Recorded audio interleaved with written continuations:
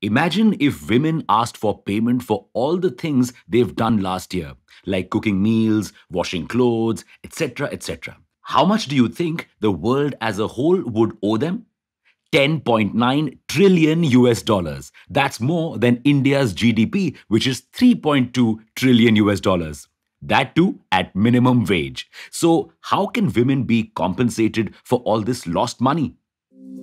Welcome back to Revolution ReadOn, a daily podcast where we break down one story from the world of business and finance. Click on the subscribe button to never miss an update from us. Here's your story for today. Do you know what happened in Iceland in 1975 when all the women went on a strike to demand equal rights? The economy came to a standstill. In India, if we took women's labor into consideration, it would account for 17% of the country's GDP. But it isn't. In India, only 20.3% of women participate in the workforce as compared to 30.5% in Bangladesh and 33.7% in Sri Lanka. Now, this is a huge loss for both women and the economy. How can we compensate for this?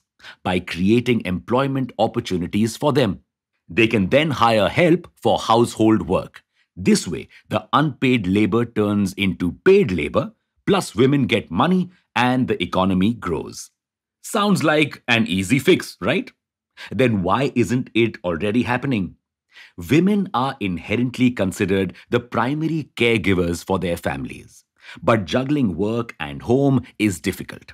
So, most workplaces don't even want to make it easier by offering flexible work hours, childcare services, and appropriate transportation to work. And this is despite the fact that our country requires companies with more than 50 employees to provide mandatory childcare. Even after all of this, when women do enter the workforce, they face discrimination, like being passed over for promotion. Now, many problems that women face, including preference given to male colleagues or families' refusal to allow women to study and or work are deeply rooted in the way our society functions. Since ancient times, women have been relegated to the home. While men hunted, women were to stay close to home and gather.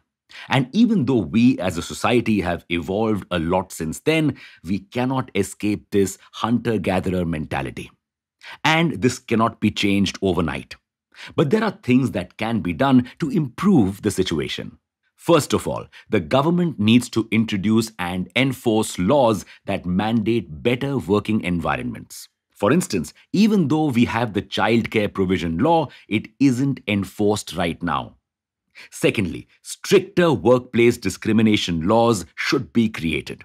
And thirdly, and probably most importantly, aid needs to be given to women who choose or are forced to stay at home. These women are often the most vulnerable in society as they are completely dependent on someone else for even the smallest of things. Several politicians have proposed putting a fixed income in the hands of non working women to make sure they can gain some form of independence. The government's Ujjwala scheme is also doing this. But the problem is these efforts are too limited. What we need is a countrywide mandate to provide homemakers with some kind of a fixed wage to make sure they are taken care of. Because they spend the whole day taking care of us. And these labors of love need to be recognized as work which deserves payment. You can find our LinkedIn and Instagram handles in the show notes. Happy Women's Day. Thanks for listening. That's your story for today. We'll be back tomorrow.